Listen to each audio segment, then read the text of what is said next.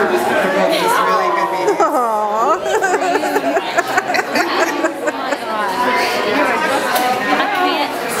All right, Whenever you check my painting and see if I need to do yeah. anything else.